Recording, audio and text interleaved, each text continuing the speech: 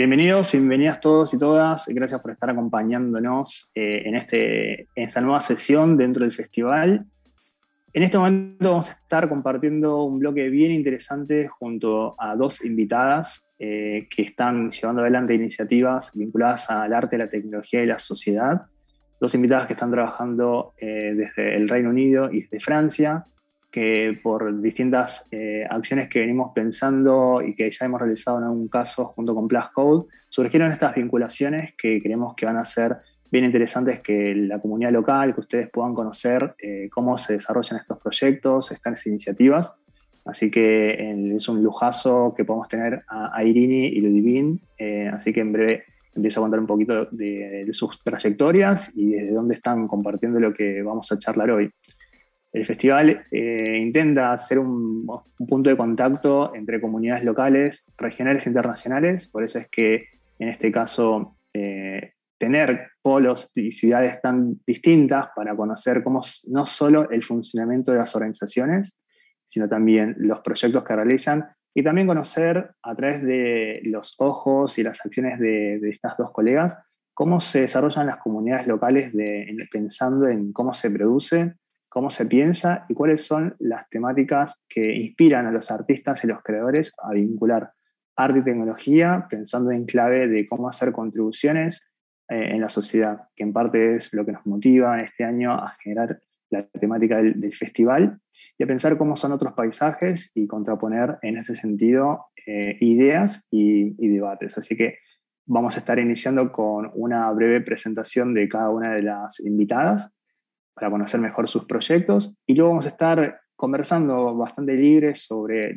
disparadores que surjan de sus charlas, eh, consultas que pueda haber también entre los tres, así que estoy como muy contento de tener esta, este rol y compartir con ellas este momento.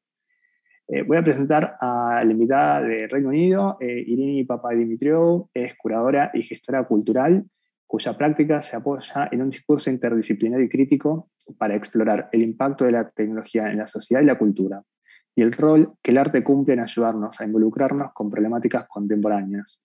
Es la directora creativa de Future Everything, una ONG de innovación y arte de Manchester en Reino Unido. Antes trabajó como manager de los programas eh, digitales del Victoria Albert y jefa de desarrollo de nuevos medios en Watermans, en Londres. Es cofundadora de Maker Assembly, un espacio de encuentro sobre la cultura maker. Es miembro del gabinete de asesores de ONX Studio, una colaboración bastante reciente entre la Fundación Onassis de Grecia y eh, Estados Unidos, la incubadora cultural eh, New Inc. Y es curadora de Arts and Culture, experiencia del Festival Mozilla. Irini fue jurado para Arts Electrónica, los premios Lumen, los premios DEAT, eh, europeos de Start and Asian Graph. Em, por otra parte, tenemos a Ludivine, que se licenció en Administración y Economía Cultural en París y en Buenos Aires. Primero trabajó para la producción de los shows itinerantes de la Filarmónica de París y luego como gerente administrativa y financiera de la Fundación Cartier para el arte contemporáneo. Previo a unirse al equipo de Sencat París eh, para manejar la producción y la administración de la Bienal de Artes Digitales NEMO. También es profesora de producción de exhibiciones para el máster en Economía Cultural y Digital en la Universidad París Pantheon Sorbonne. Se especializa en producción de exhibiciones y shows en vivo y es muy comprometida con la defensa de los ecosistemas. Se enfoca particularmente en proyectos con contenido artístico y científico que resaltan los vínculos entre la humanidad y el vivir. Así que nada menos con Irini y Ludivine vamos a estar realizando esta, esta charla. Bienvenidas Irini bienvenida Ludivine. Em, si quieren, hacemos una. Bueno, iniciemos con la presentación. La idea es que puedan contarnos un poquito. No sé si Irini te, te animás a, presentar primero eh, y escuchamos un poquito. Y en base a estas dos presentaciones empezamos a conversar entre nosotros. Sí, claro. Gracias. Muchas gracias, Cristian, por la introducción. Es muy bueno venir acá. Gracias. Hola, Ludwig. Estoy muy emocionada. Voy a compartir mi pantalla muy rápidamente. ¿Y pueden, pueden ver mi pantalla? Entonces, sí. Voy a hacer un resumen muy corto de cómo trabajamos en Future Everything. Somos una organización pequeña de artes basada en Manchester, en el Reino Unido. No tenemos un espacio físico que es muy interesante porque nos pone en la posición en la que podemos colaborar con muchos otros espacios y personas. Entonces, nuestro programa tiene tres pilares. Nuestro objetivo principal es explorar las conexiones, pero también preguntas alrededor del arte, la tecnología y la sociedad. Y nos enfocamos mucho sobre cómo la tecnología impacta la manera en la que vivimos o interactuamos el uno con el otro, las cosas que hacemos. Muchos de los trabajos que hacemos ah, se emplazan no solo en lugares eh, adentro, sino en lugares públicos, espacio público. Muchos de los trabajos que hacemos también involucran llevar el arte hacia afuera, fuera de nuestros dominios. Este es un ejemplo de un trabajo reciente que es itinerante y se llama Everything Every Time por un artista japonés eh, alemán, Es como un letrero tipo los de aeropuerto, una instalación que es muy similar a los que se acuerdan de los que estaban en los aeropuertos, que anunciaban las partidas y las llegadas. Es una escultura de datos, recibe datos en tiempo real de la locación en la que está emplazada. Esto es en la Biblioteca Nacional de Qatar, es parte del Festival Británico de Qatar a fines del 2019, en diciembre. Y lo que hace es que traduce estos datos acerca de la locación y los transforma en declaraciones o poemas sobre historias, sobre el lugar. Y el trabajo es como un punto de partida para que nosotros creemos conversaciones, pero también debates sobre los datos y todo este trabajo invisible que nos rodea. Mm, para otros ejemplos, este es un proyecto que exhibimos en Londres justo antes de la cuarentena, justo antes de la pandemia el año pasado. Se llama Triple Down, New Vertical Voice de Helen Jones. Y este es el resultado de una colaboración de muchas personas del mundo de la tecnología, pero también economistas, fintech, entrepreneurs este arte explora la disparidad de riqueza entre distintos grupos, pero también los sistemas de valor, las ideas sobre el espectáculo. Entonces se compone de cuatro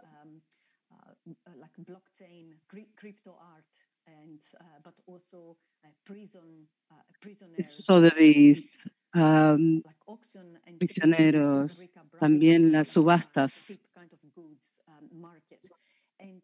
entonces se enfoca en este tipo de ah, subastas. Es como una coreografía del video, el audio, de la instalación del video y el audio, pero solo es visible para las personas cuando uno pone una moneda en la máquina. Y básicamente lo que Helen Knowles creó fue un micropago. Entonces toda la plata que va a la instalación se divide y paga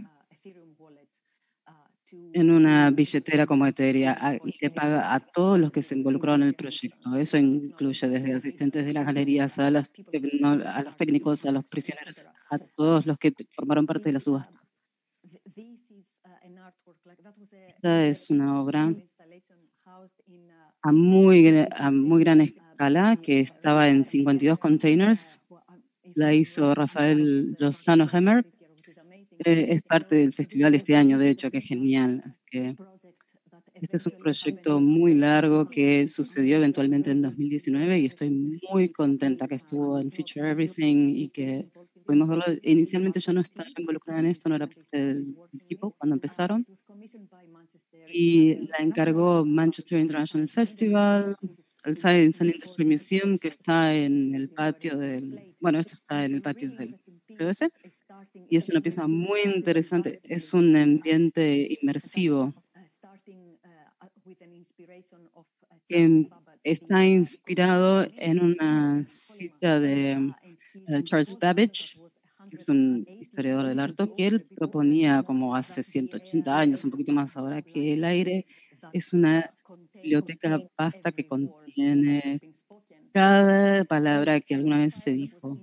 Y Rafael le interesaba, le interesaba como crear este espacio y entender si, tomar lo que pensaba Charles y pensar cómo una máquina podía grabar todo esto que la gente dice y reproducirlo. Entonces, esto es como una provocación de Rafael para cuestionar si Babbage tenía razón, pero también si podemos este, rebobinar estas voces y reproducir todo lo que se dijo, qué voces podemos escuchar, y el trabajo responde a muchas ideas políticas alrededor de la atmósfera, del aire, como es que lo conocemos. Y otra cosa que hacemos en Future Everything es, como dije antes, como parte de las colaboraciones que hacemos es que muchas veces llevamos el arte y estas de artes y artistas y tecnologías creativas y las llevamos fuera del mundo del arte y vamos a otras. Entonces, estuvimos trabajando y estuvimos construyendo conversaciones con la, industria de la tecnología, pero también con negocios. Entonces, digamos, gente que tiene el poder y pueden tomar decisiones sobre la tecnología. Este es un ejemplo de un proyecto que pudimos presentar antes de la cuarentena el año pasado en Barcelona, en Cisco Live, que es una conferencia a gran escala sobre tecnología sobre comunicaciones en red, organizada por Cisco y junto a como 60.000 personas. Y nos invitó a curar y crear este espacio para poder charlar de la tecnología y del desperdicio, del desperdicio electrónico. Entonces creamos este espacio que se construyó, todo lo que construimos era de los hardwares eh, no deseados de Cisco, que nosotros como lo despedazamos e invitamos a que la gente nos ayudara a crear algo distinto, como desmantelar todo. Entonces creamos como una Maker Assembly para realizar y desarmar cosas y armar cosas nuevas. Esto era para tener conversaciones sobre el desperdicio que estamos creando con nuestra tecnología. Y acercándonos a la pandemia, claramente impactó nuestro pequeño equipo mucho. Y como no tenemos un espacio físico, pudimos eh, ser bastante flexibles y responder bastante bien, pero mucho del trabajo que hacemos como una organización, organización es tener conversaciones críticas. Entonces, las obras que presentamos, los artistas con los que trabajamos, todas las exhibiciones o los proyectos que desarrollamos, nos aseguramos que tenga un contexto y sea para convocar a gente que pueda eh, involucrarlos y hacerlos participar, generar discusión, debate. Entonces, una gran parte del programa fue llamado Future Sessions y fue básicamente algo que salió del festival Future Everything, que por cierto ya no lo hacemos, entonces decidimos hace dos años, o un poquito más de dos años, decidimos como salir del ambiente del festival anual y hacer programas anuales. Después podemos contar, les puedo contar un poco más. Pero Future Sessions básicamente fue una plataforma en la que estos debates y conversaciones se llevaban a cabo.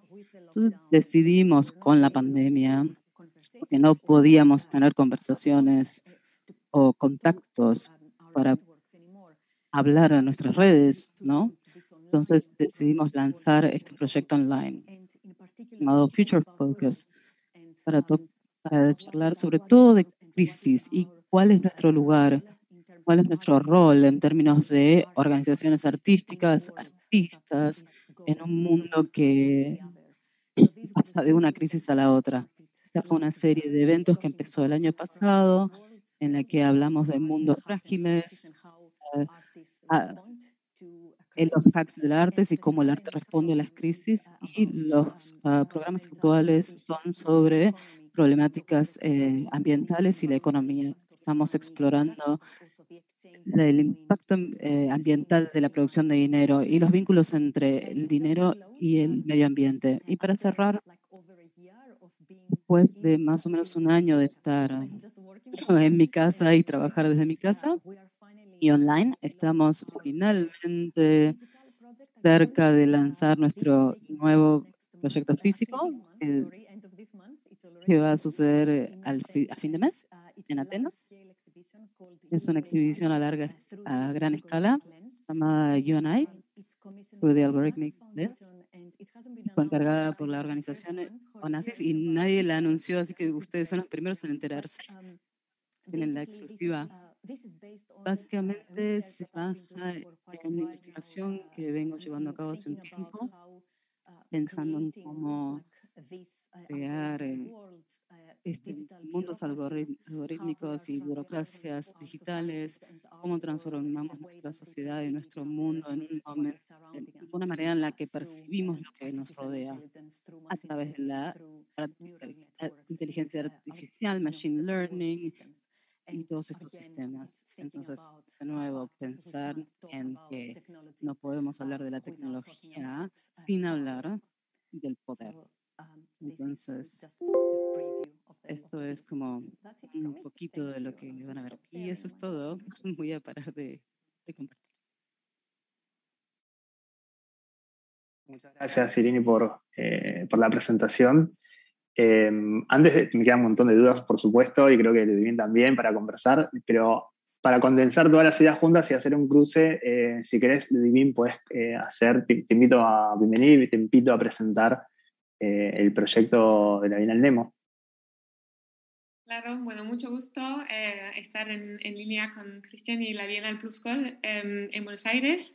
Eh, bueno, estoy encargada de la producción de la Bienal Nemo, que es una bienal de arte digital de la, de la región Île-de-France, que es la suburbanía de París, o sea, París más su suburbanía, que forma un, un conurbano de 10 millones de habitantes, más o menos. Entonces, eh, una, una bienal que toma lugar, cada, dos años, como, lo indica su nombre, em, que propone una mirada crítica sobre nuestra sociedad eh, digital y tecnológica. Entonces, eh, para, mostrar em, lo, que, lo que los artistas contemporáneos eh, opinas de, de, nuestra sociedad, em, no rechazamos ningún formato artístico, por eso mostramos arte, obras de arte que, que, que usan tecnología y, y, y em, soporte digital, pero no solo. Entonces, em, mostramos performances de, danza, de teatro, de em, audiovisual también, por supuesto, y también eh, obras plásticas que no utilizan eh, tecnologías o, soporte digital, pero que hablan de, nuestro, de, nuestra, de, nuestra relación con eh, estas tecnologías y con, este, con, con la, la inteligencia artificial o mm, o los, eh, los, los, medios digitales que usamos cada día. Em, algo importante de decir es también nuestro objetivo de soporte a la creación eh, artística contemporánea em, en Francia, pero también en Europa, ya que eh, formamos parte de, de, de, varias redes, de los cuales hablaré un, un poco luego. Eh, así que tenemos un fondo de, creación, un fondo eh, o sea, dedicado a financiar eh, obra, la creación de obras, que, sea obras que sean obras, obras o eh, live performance o como teatro, danzas o creación que mezclan también eh, los diferentes formatos y que eh, mostramos cada dos años durante la Vía del Nemo, pues que dura entre tres y cuatro meses. la próxima edición empezando el 9 de octubre de 2021 para tres meses hasta el 9 de enero de 2022.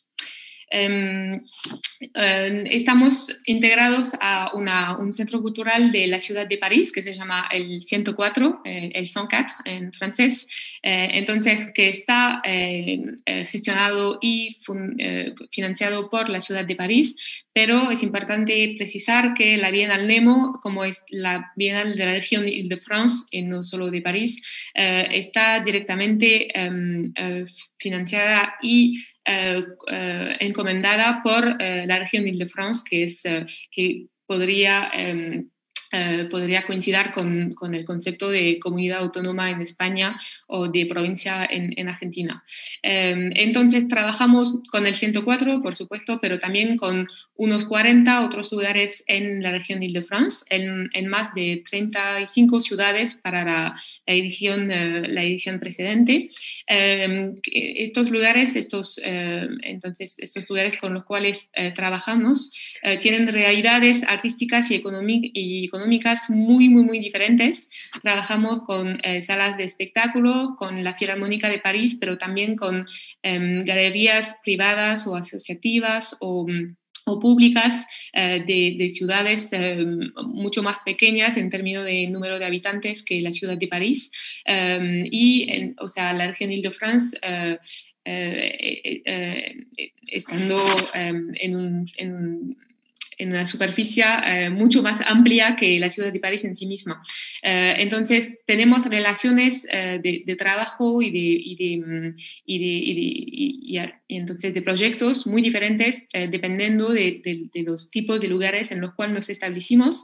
Puede ser, por ejemplo, una iglesia, y ahí voy a compartir mi, una presentación para, para, mostrarles un poco nuestras, algunas de nuestras realizaciones.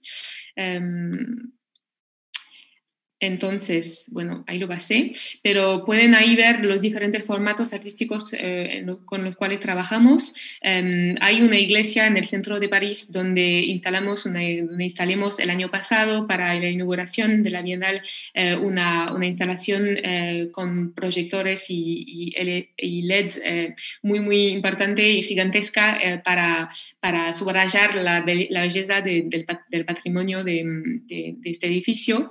Em, pero también, bueno, la exposición principal que, que, que, tiene lugar en el 104, eh, en más de, de, seis espacios diferentes. Eh, ahí en, en, el lado de izquierda pueden ver una, una instalación que, que, mostremos el año pasado, em, pero también eh, espectáculos de, de, danza o de, o de performance audiovisuales que, que coproducimos con diferentes salas convencionadas o bueno, no voy a entrar en los detalles de, las tipologías de, de, salas de espectáculos en Francia, pero, pero bueno, eh, realidades muy diferentes eh, a, través del territorio de, de Ile-de-France.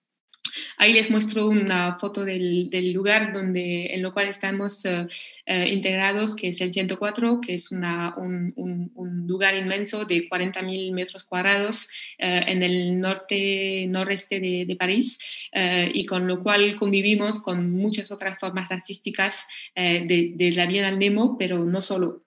Em, para darles también una, visión un poco más precisa de, las, eh, de las propuestas artísticas y, y del, del, contenido, eh, habla, em, quizás eh, hacer una retrospectiva muy, muy breve de, los, de las precedentes ediciones y de sus temáticas.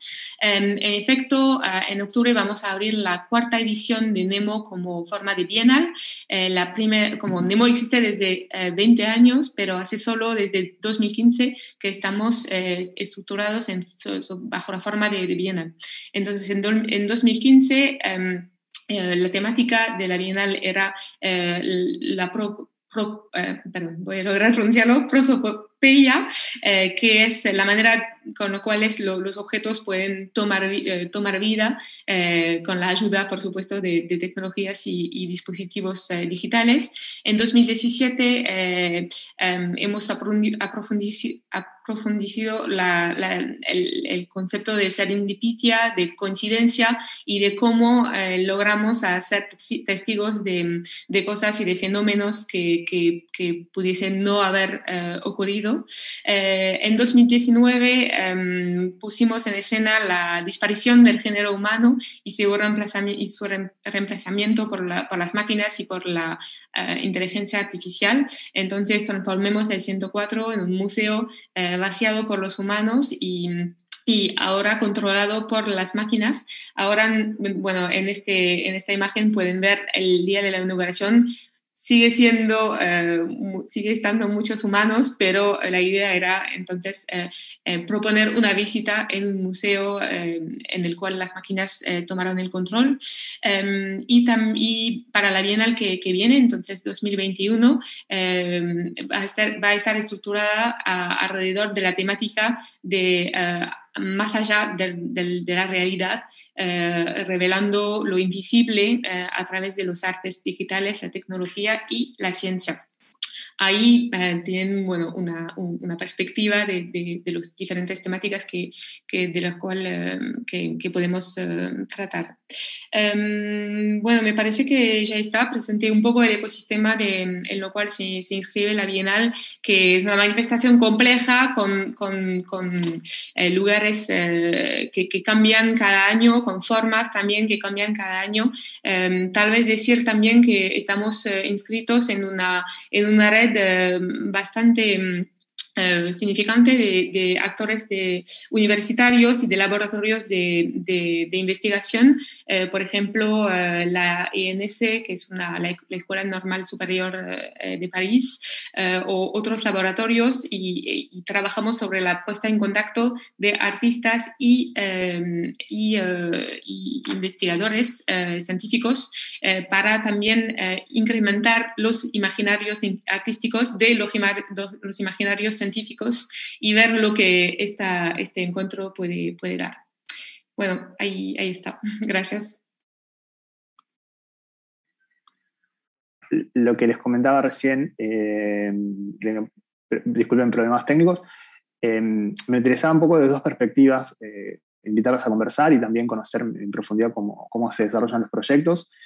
Me ha tocado estar, por suerte, tuve la fortuna de estar, creo que en el 2017, en Manchester para participar en los eventos de Future Everything. Eh, me llamó muchísimo la atención ese caso que estaban presentando un proyecto de un artista que ha trabajado eh, con un grupo de adolescentes de, Manchester y que presentaba una suerte de coreografía con, muchos de los dispositivos como wearables, eh, vestiles que tenían, que habían desarrollado en ese taller con el artista. Eh, me parecía interesante cómo luego también siguen trabajando con el espacio público en esa situación. Entonces, me interesaba conocer desde la lógica de los creadores y los artistas cómo es esa mm, colaboración o cómo surgen esas colaboraciones y también entender desde ese lugar cuál es la perspectiva que ustedes tienen del rol que están eh, proponiendo o desarrollando dentro de eh, distintas, distintos contextos culturales. Eh, entonces me interesaba cómo en Manchester y cómo en París ustedes conviven con otros eh, eventos, organizaciones y también las propuestas del sector público, además de las independientes, y cómo es que ustedes encuentran su rol, cómo lo definieron y cómo es que eso hace que empiecen a trabajar colaborando con, con artistas o, o financiando proyectos.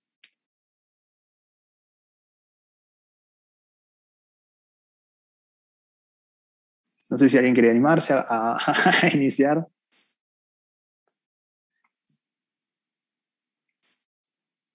Uh, yeah, I, don't, I don't mind. I can go first. Yeah. Sí, um, yo puedo ir primera. Um, es refiriéndome de vuelta a cuando yo empecé a trabajar con artes mediales y artistas digitales. Es importante o interesante que uno que encuentra estas colaboraciones dentro el desarrollo de estas obras y cómo los artistas trabajan ellos mismos. O sea, Future Everything, algo que como dije antes, trabajar con otras personas es muy importante que, porque es algo que si no, no podemos hacerlo. somos un equipo pequeño, pero también tenemos que traer y convocar distintas personas todo el tiempo y distintos expertise y habilidades. Entonces es algo que solo para incorporar ese elemento público que vos dijiste, Cristian.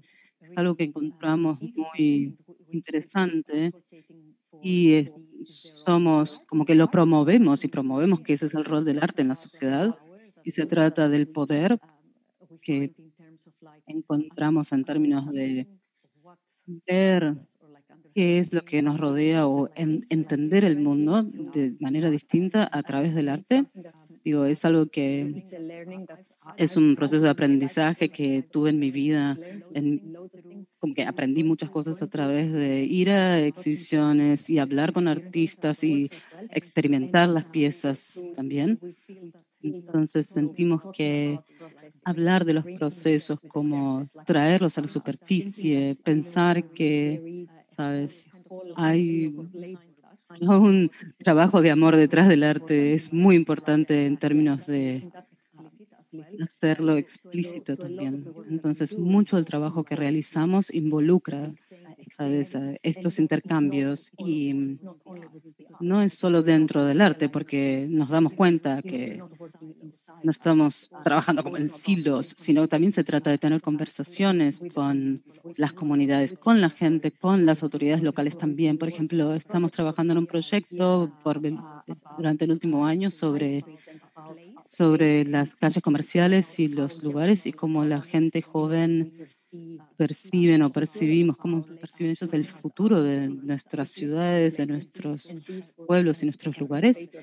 Y era un proyecto participativo también. Pero bueno, obviamente se llevó a cabo en, en línea, pero fue, se trataba de que uno empiece a pensar y cómo ve uno el mundo eh, que lo rodea a través de una perspectiva distinta. Espero que eso de alguna manera responda a tu pregunta. Sí, por supuesto. Em, eh, bueno, acompañe un poco la, mirada de Ludivine para conocer también desde su desde la Bienal Lemo y el rol que ella tiene y su experiencia también trabajando con distintas organizaciones, cómo es ese ecosistema en el que, en que se desarrollan, cómo es el, el, rol en que ustedes trabajan con artistas porque me imagino que deben tener una, diversidad muy grande de instituciones que acompañan a los artistas, entonces algo muy, específico de lo que ustedes hacen. Eh, entonces me también eh, cómo es que lo llevan adelante o de qué manera están, eh, deciden las formas de acompañar a los artistas. Sí, em, bueno, una, una cosa eh, interesante eh, para subrayar eh, es de, de, mi mirada, como, o sea, no siempre trabajé en los artes numéricos, en los artes, artes digitales, y me parece que en, en Francia, el, este, esta disciplina, si se puede llamar disciplina, ya que, bueno, em, incluye cosas muy diferentes, los, los, artes digitales, o sea, es una, es una disciplina que no existe realmente, pero es más una manera de, de usar y de hablar de las tecnologías, ¿no? Em, entonces, estaba diciendo que em, sí, eh, es una, una disciplina o un ecosistema que es em, estructurado, estructurado en redes de manera, en redes de actores eh, y eso de manera muy importante. Por ejemplo, Nemo forma parte de tres redes, eh, como dos francesas, que son em, eh, la red em, ACNUM, de la cual forma parte como, bueno, otras bienales como la Bienal Chronic, que conocen también Pluscode eh, y, otros festivales, también actores con, realidades eh, eh, artísticas y de, tamaño de público muy diferentes, pero con lo cual trabajamos mucho y con lo cual colaboramos mucho, particularmente en cuanto a la coproducción de, de obras y a la, ayuda a la difusión de, espectáculos o de obras, como estamos todo el tiempo hablando con estas estructuras socias de eh, qué, proponen, qué, experiencia tuvieron con tal artista, eh, qué opinan de, ir en esta dirección en cuanto al trabajo de tal artista o de tal... Em, o de tal grupo de artista, etc. Eh, y eso, o sea, veamos estos actores em, casi no todos los meses en tiempos de pandemia, pero muy a menudo. Y, también trabajamos a una, a una, escala más regional, ya que em, sobre el territorio de Ile-de-France, entonces de, París y su región. Tenemos una, una, red que se llama Exoplanet Terre, con lo cual, Exoplaneta Tierra sería en español, em, con lo cual construyemos una programación de, de arte y ciencia eh, muy amplia eh, sobre eh, la, la, la, ventana de noviembre 2021 y, y, igual hacemos un trabajo de coproducción de obras, de coprogramación de obras. Por ejemplo, tenemos un espectáculo que se llama Ion, em, que es como nueva magia y, coreografía y, em, y input científico de, de experiencias de, de, que geólogos hicieron en los años 70, eh, eh, que mostramos aquí en París y en, otro, en, otro, en otra ciudad a 20 kilómetros de París en diferentes momentos. Em, entonces, y eso es también una manera de acompañar a los artistas. O sea, eh, nosotros, bien al Nemo, por ejemplo, coproducemos este espectáculo que se llama Ion y vamos a, contactar diferentes estructuras que son socios de la Bienal, a la cual vamos a eh, recomendar eh, esta creación, poner en contacto, por, ejemplo, por ejemplo em, para ese espectáculo pusimos en contacto eh, la compañía que se llama 14, 1420 con un laboratorio que, que, financia proyectos que tienen una dimensión, una dimensión científica y pudieron así agregar un presupuesto eh, eh, suficiente para la producción del, de, la, de, esta obra, eh, no solo gracias a nosotros, por supuesto, pero ayudemos a poner en contacto diferentes actores que pueden estar interesados en la coproducción y la codifusión de algunas, ah, algunas obras. Y eso me parece, o sea, muy característico de la manera de funcionar de Nemo, que, trabajamos, sí, con, con, varias estructuras, con, con otras no hay coproducción de obras, pero va a ser una, la reflexión para producir una noche eh, por ejemplo, eh, trabajamos con la Filarmónica de París eh, para, y cada dos años producimos, producimos un, una gran noche digital que es una, colaboración de la Filarmónica de París, el Orquestra Intercontemporáneo, que está especializado en música contemporánea, pero por, por, como orquestas y eh, la IRCAM, que es una, institución pública de, de, investigación en el ámbito de, la música mm, experimental y de creación, eh, y también, bueno, artistas que nosotros invitamos a Em, a, jugar, actuar y, performar en, esta noche numérica eh, y puede ser artistas que encontremos en LEV, que es el festival eh, de español que, toma lugar en Gijón y Madrid. Así que, bueno, intentamos crear redes así que no son eh, todo el tiempo redes formales, pero que construyemos a lo largo del, del, tiempo y de las bienales Nemo. Em, ¿Qué decir más? Em, sí, me, parece, no sé si tenés eh, como preguntas, eh, preguntas adicionales, Cristian, pero... Em, sí, no, me interesaba de este intercambio de, lo que mencionaban en las presentaciones y como en tu, en tu caso, Ludivine, eh, se, se, desprende que hay otro tipo de organizaciones no dedicadas explícitamente a, a, lo cultural, pero con los que ustedes pueden articular y, se pliegan en proyectos y toman otra escala que permite que circulen de otra manera, no solo como circulación de la producción artística, sino circulación de ideas y cruces de objetivos que enriquecen la conversación. También en el caso de, de Future Everything encontré siempre y, como mucha vinculación también en lo que presentabas, Irini, de, de este trabajo eh, junto a, a, Cisco, de este espacio maker. Como, digo, como me parece muy notable esa posibilidad de generar acuerdos con distintos sectores. Eh, entonces, ese es el lugar que me parece interesante de, desde otro lugar, cómo se vinculan el sector privado con el sector público, con las organizaciones culturales. ¿Cuáles son, si pudiese haber, sus aprendizajes o sus experiencias en, ese, en esa articulación? o cómo serían pasos útiles en articular conceptos fuera del ámbito cultural para generar eh, promoción y, acuerdos para desarrollar proyectos en conjunto.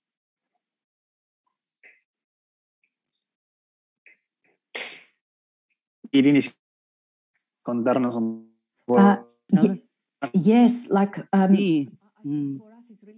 Creo que para nosotros es muy importante hacer un puente entre estos mundos y tener estas conversaciones. Entonces, a veces estas relaciones y partnerships uh, como que se tarda un poco en construirlas, pero creo que definitivamente es algo que es muy reconfortante eh, porque lo que sale de eso, como para darles un ejemplito, de los proyectos que antes mencioné brevemente, que invitaban a la gente a reimaginar nuestros centros comerciales y ciudades a través del arte y la creatividad. Se llama This Place of Mine, este lugar mío. Este proyecto lo logramos con el apoyo de autoridades locales acá en el área de Manchester y trabajamos con productores jóvenes y de joven, pero también pudimos ah, encargar artes, artistas para que desarrollaran estas ideas.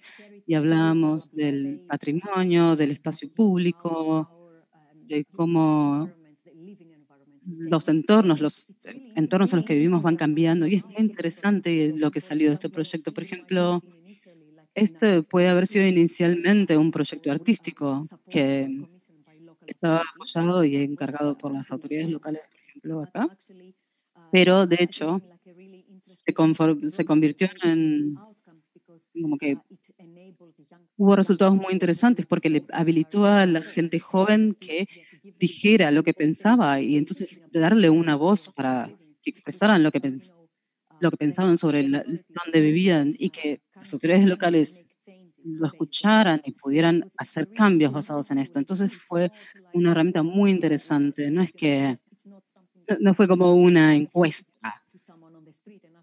No, no es como parar a la gente en la calle y preguntarle qué es lo que piensa de su ciudad, sino que es una manera distinta de involucrar a la gente en esta conversación. Es más creativa y los ayuda a cuestionar y pensar de manera distinta sobre su entorno, por ejemplo, para quién está construido, las voces de quién estaban estuvieron involucradas en esto, a quiénes afecta, etc.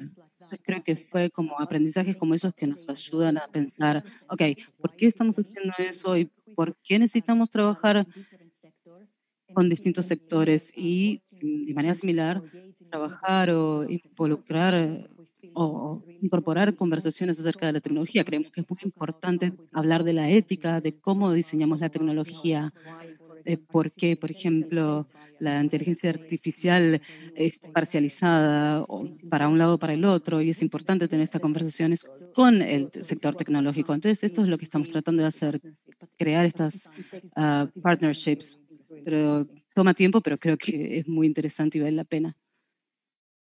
Es totalmente necesario.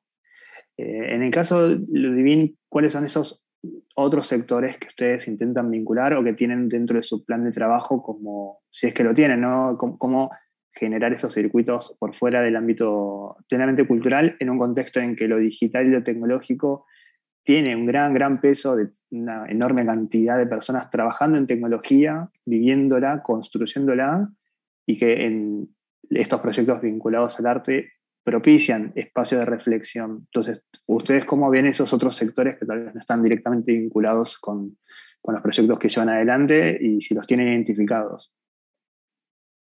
Sí, em, bueno, como lo dije, eh, el enlace de Nemo con el ámbito científico es muy fuerte y va, em, va cada año más fuerte, me parece. Por ejemplo, la temática de este año, que es eh, em, como más allá de la realidad, eh, revelar lo invisible por arte, ciencia, tecnología, llama a, a, muchos científicos y y a su trabajo para revelar lo que no se puede oír, lo que no se puede ver lo que no se puede sentir, etcétera. Así que trabajamos sobre eh, ámbitos eh, varios como radioactividad, electrosensibilidad, em, también la actividad telúrica de la, Tierra o, de los glaciares, o bueno, muchos, no voy a, detallarles todos, pero, pero eso es muy importante. Sin embargo, la mayoría de, las, de los socios institucionales con los cuales trabajamos son públicos, ya estando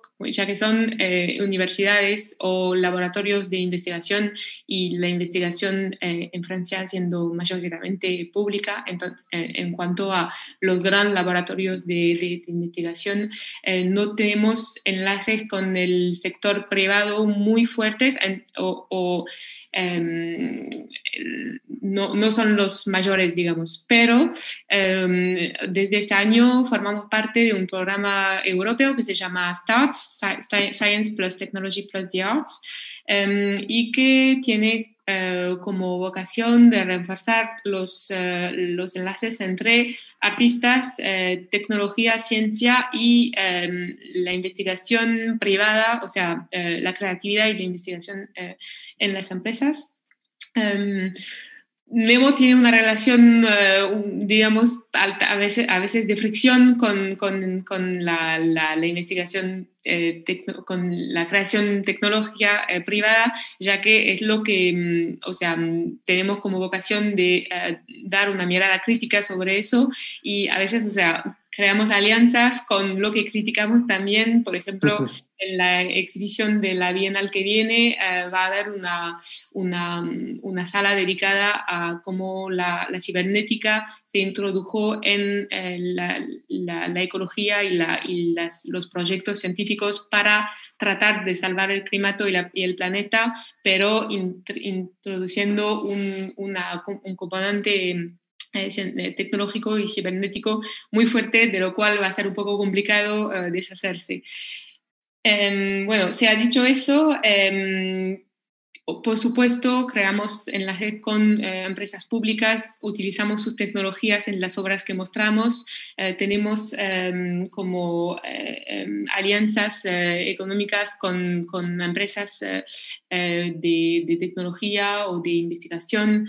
también em, importante decir que el 104 tiene un departamento de, de innovación que forma parte de sus actividades como el resto de sus actividades y tenemos un incubador de startups ahí en el 104 y trabajamos con algunas de ellas, por ejemplo, en una, una empresa de, de, difusión de obras de realidad virtual con la cual trabajamos para, para mostrar obras de, de realidad virtual durante la Bienal. Así que sí, es claramente algo que hacemos, aunque la mayoría de, de, los, de los socios de Nemo son quizás más públicos que privados, pero no es una convicción, es más un, un hecho de, de resultado de, de, años de, relaciones. Gracias. Seguro, seguro, sí, también eso marca las dinámicas de, las organizaciones o la cultura de, la industria de distintas ciudades. Em, nos quedamos sin tiempo, como pasa, los, me quedarían mil preguntas para hacer y que podemos intercambiar más. Em, pero al menos yo tomo de este rato y espero que todos hayamos podido capturar ideas y reflexiones que, nos motiven y también que en algún poco de luz en los caminos que a veces en la comunidad local estamos desarrollando y que es buenísimo. Eh, y yo estoy muy agradecido de tener a estas colegas de las que puedo aprender cada vez que converso y que creo que es muy útil que podamos todos escuchar también cómo se desarrollan nuestros contextos y cómo son los proyectos eh, y las modalidades en las que se desarrollan lo que estamos escuchando me pareció bien interesante de cómo se amplían eh, las iniciativas culturales y cómo se generan acuerdos de trabajo que son necesarios para, creo yo, que los ecosistemas eh, subsistan, se sostengan y desarrollen.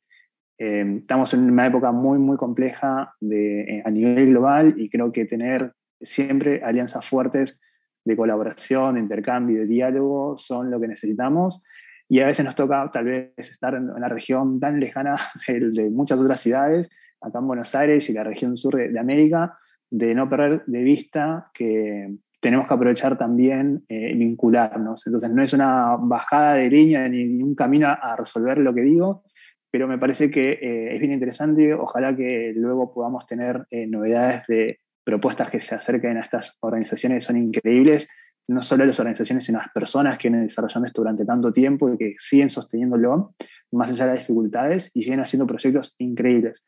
Así que espero que desde Plascode vamos a ir compartiendo la exhibición que están generando desde Future Everything junto con Nazis eh, en Atenas cuando haya novedades y estaremos difundiéndolo. Y por supuesto lo que suceda con la próxima Bienal Nemo, que arranca en octubre, así que el programa ya luce interesante y la temática que están desarrollando.